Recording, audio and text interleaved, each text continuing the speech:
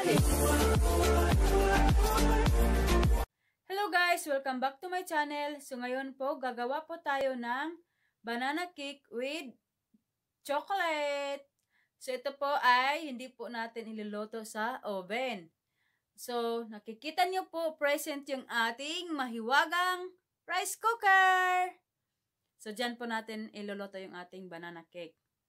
So ito yung ating mga kailangan. Meron po tayo ditong anim na peraso na saging.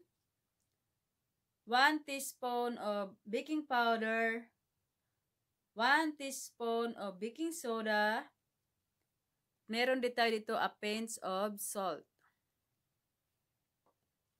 3-4 cup of fresh milk, half cup of sugar, half cup of dark chocolate, half cup of oil, 2 cup of all-purpose flour, at gagamit din po tayo dito ng vanilla. So, let's start, guys. So, una, ito ating saging. Balata natin. Siyempre, babalata natin yon.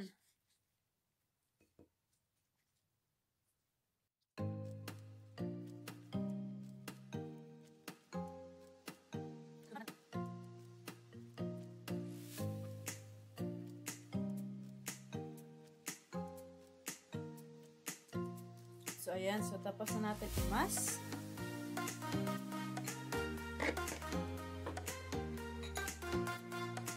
So, here, meron akong bowl.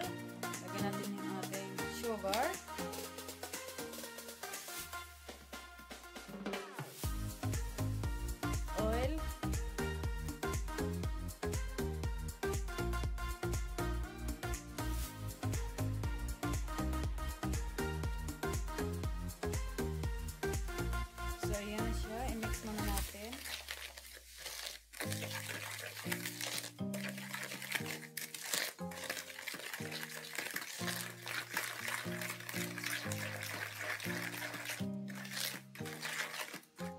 Ilagay natin yung ating fresh milk. So, ito yung ating banana cake pala guys ay without egg. Okay?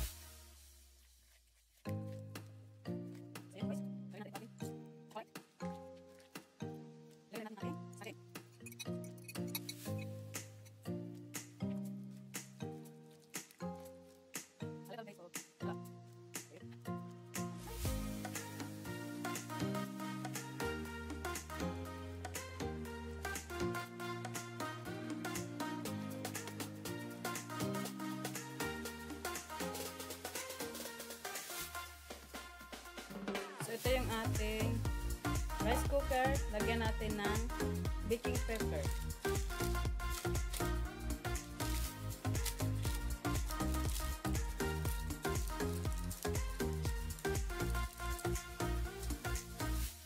So, ilagay na natin yung ating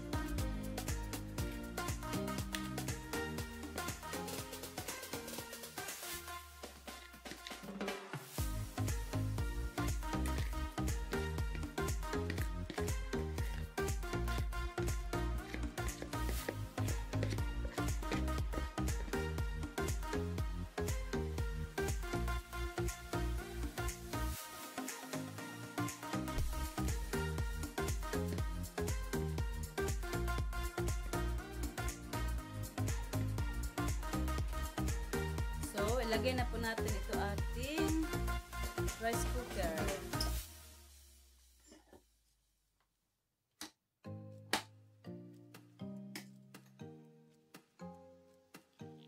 So, ayan po, dito po sa rice cooker is every 3 minutes po, nag-stop na po siya.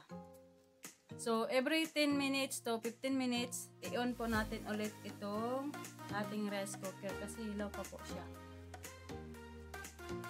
Ayan. So, after 10 minutes, i-on natin siya.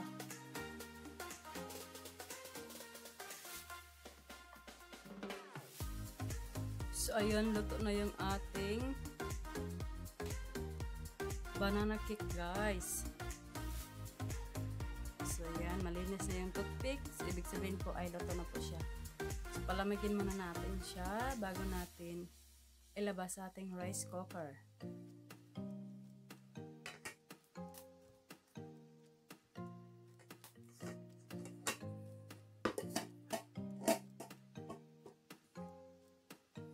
Charing!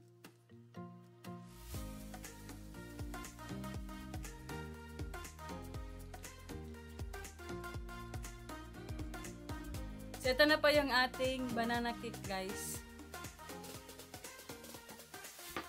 Try natin buksan. Ano siya? Malambot.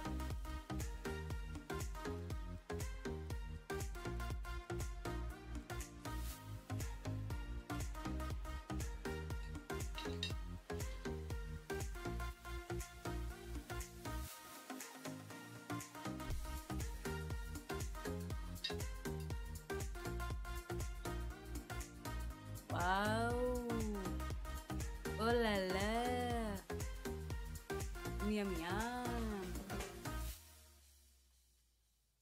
So, ayan siya guys. So, meron doon kamay ng hingi. So, bigay natin ito.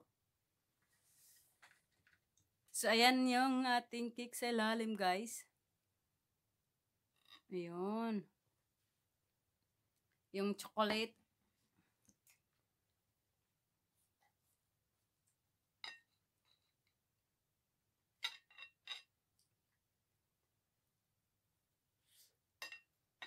Mm. Malambot.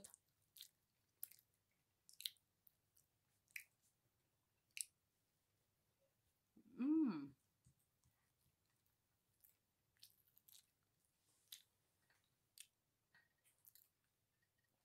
Tama lang yung tamis niya. Perfect ito pang kape at saka pang snack. Hmm.